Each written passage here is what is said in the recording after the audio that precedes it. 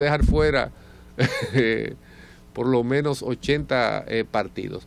Vámonos ahora con los favoritos aquí en pantalla. Gracias a nuestro productor Leonis. Golden State a más de 215 es el único pronóstico que tenemos en la NBA en el día de hoy. Yankees a más de 7.5, a menos Dodgers de Los Ángeles de 8 y medio.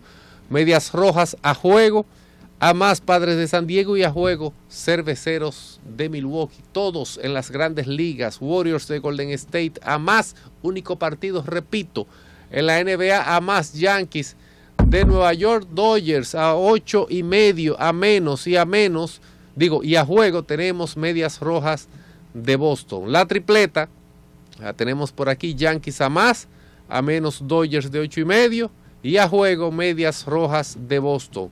El Palé, mírenlo aquí, que lo tenemos en pantalla, Padres de San Diego a más y a juego Cerveceros de Milwaukee, ambos en las grandes ligas.